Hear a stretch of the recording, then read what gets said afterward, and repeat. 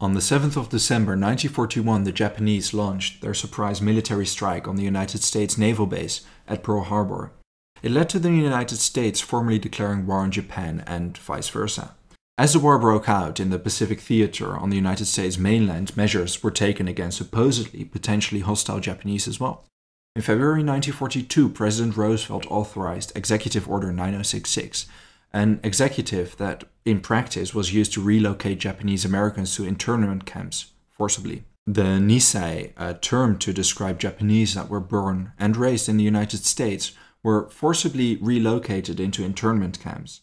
The treatment of Japanese American citizens during the Second World War is pretty well known even outside of the United States. But what's so curious is that although Japanese Americans were viewed as a potentially hostile threat by mere reason of their ancestry, the 442nd Infantry Regiment fought as part of the United States Army in the European theater.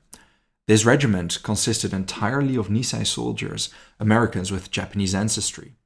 And what is more, it became the most highly decorated unit in US military history.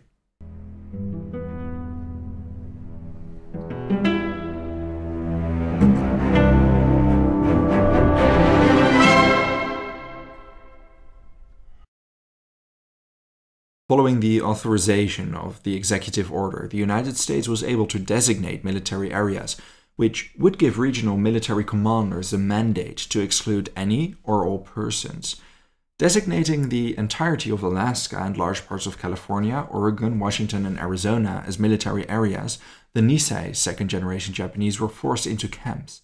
In total, around 120,000 Americans with Japanese ancestry were interned during the war.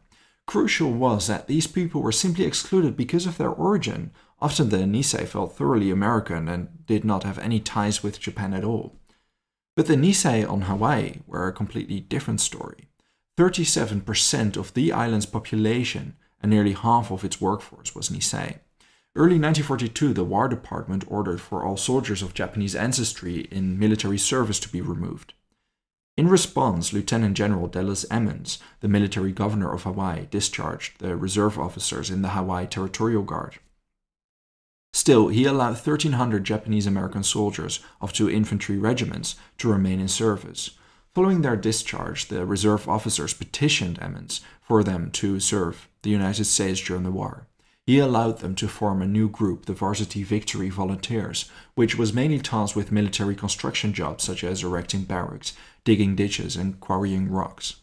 In short, disregarding the orders from the US mainland, Emmons ensured all Japanese Americans fair treatment as long as they remained loyal to the United States. But meanwhile, Emmons was, in fact, doubting the loyalty of the Japanese Americans if Hawaii were to be invaded by Japan. He requested the War Department to move most Hawaiian Nisei to a temporary battalion on the US mainland. In June that year, over 1,400 Nisei boarded the Matson liner SS Maui on its way to California. Over there, they were put on trains and sent to Camp McCoy in Wisconsin. Obviously, many Nisei thought they were being shipped to internment camps, but instead, at Camp McCoy, the arrivals were designated the 100th Infantry Battalion, separate, the 1 Puka Puka which consisted mainly of former Hawaiian Army National Guard members. The 100th Infantry Battalion was trained by both Nisei and American officers from June until December. The battalion was the odd one out in that it had no parent regiment and was marked separate, clearly because of the distrust of US officials. After eight months of training, the regiment was moved to Camp Shelby in Mississippi. During their training here, they participated in war maneuvers in Louisiana and due to their exploits and skills showed during these exercises in February 1943, the US War Department reconsidered accepting Nisei volunteers. They decided that a fully Nisei Army unit should be created. Okay, so here's the important distinction. While the 100th Infantry Battalion already existed, the opening up for volunteer recruits would result in a different unit, the 442nd Infantry Regiment Combat Team. The War Department used a draft for all cadermen that were American citizens of Japanese ancestry who resided in the United States since birth. Interned Nisei on the mainland and Nisei on Hawaii had to sign a loyalty declaration. Around a quarter of all those asked to sign the statement refused, the other three fourths were admitted to the unit. And the total amount of volunteers were nowhere near the expectations of the Army Command. The amount of Nisei that was willing to join an army unit from the US mainland lagged far behind those from Hawaii. Probably because of the internment camps on the mainland, to be fair. The department expected 4,500 submissions, 3,000 from the mainland and 1,500 from Hawaii. Eventually, 10,000 Hawaiian Nisei volunteered with 3,000 admissions, but only 800 from the mainland were admitted. With these men, the 442nd Infantry Regiment combat team became the reality. Their motto, go for broke, was derived from gambler's slang, risking it all in one go. It is what these men did. They had to put everything on the line to win the war against the Axis powers, but also win the war at home against the prejudice against Japanese Americans. From May 1943 to February the next year, this new regiment, a mixture of the mainland and Hawaiian Nisei, trained for combat. The Infantry Regiment Combat Team and 100th Infantry Battalion were forbidden from participating in the Pacific War Theater the only Nisei that the US used here were those that were fluent in Japanese in order to work for the military intelligence service as translator, spy, and interrogator. Now, the 100th Infantry Battalion was sent to the European War Theatre before the 442nd. They landed at Salerno in Sicily on the 19th of September 1943. Here, they participated in the Battle of Monte Cassino and the liberation of Italy, Battle of Monte Cassino was a major assault that took four months and led to the defeat of the Germans holding the Gustav Line. Nevertheless, the 100th suffered a disproportionate amount of casualties. Due to this siege, they earned the nickname the Purple Heart Battalion because of the amount of Purple Heart medals that were awarded following the battle. The Purple Heart is a decoration for those soldiers that were wounded in combat. As they were sent to Europe before the 442nd, the soldiers from the latter regiment were often sent to replenish their ranks, an acute need that emerged after the Battle of Monte Cassino. By February 1944, after six months of seeing combat, the fighting had been brutal to the degree that the originally 1300 strong battalion only had 521 remaining soldiers. The number of casualties did not just affect the regular soldiers. By the end of the war, the company had been led by 13 different commanders. The next month, the regiment that remained mainly on the US mainland was sent to the European front. Its 2nd and 3rd Battalion now replenished the ranks of the 100th Battalion, still fighting in Italy. The 100th actively participated in the liberation of Rome in early June. By August 1944, the 100th Infantry Battalion merged with the 442nd. The 100th was allowed to retain its own name, though, due to its exceptional war record. By this time, they had suffered 900 casualties and the remainder consisted mainly of the 1st Battalion of the 442nd. The regiment saw more combat in northern Italy, forcing the retreating Axis forces back towards the Alps. After capturing Pisa in late August, the division received the order that they would be sent to France to support Allied troops there.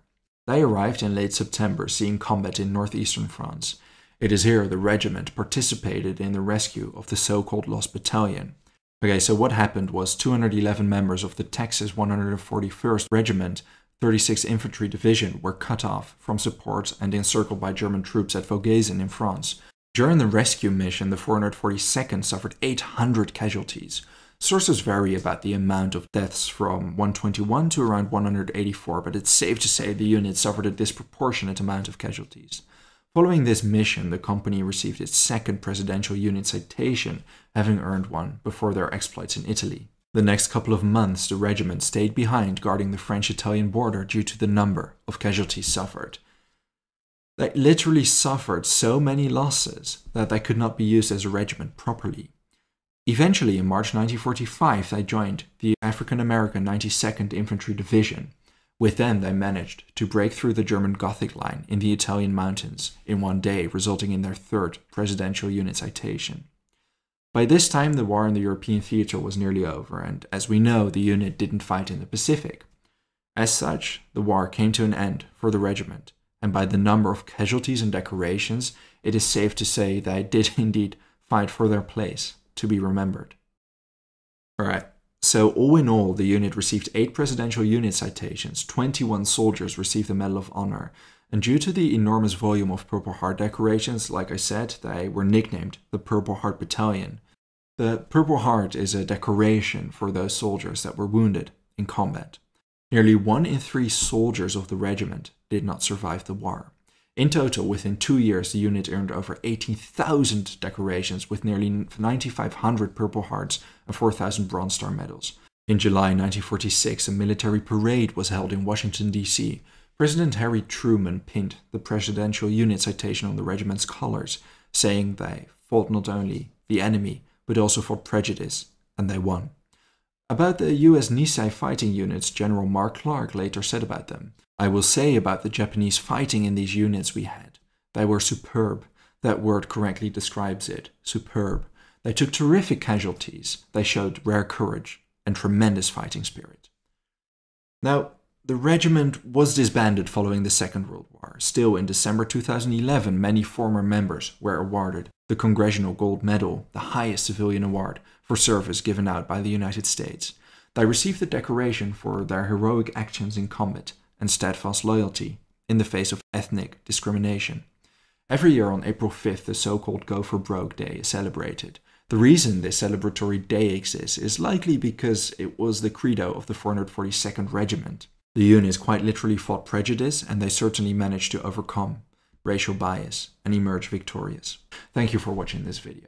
If there's a topic or event you'd like to know more about, let me know your thoughts in a comment. I would also really like to thank all my patrons for their generous support. If you enjoy House of History and want to support my work, consider checking me out on Patreon. For just $1 a month, you will already gain access to the exclusive Patreon series. Don't forget to subscribe. See you next time.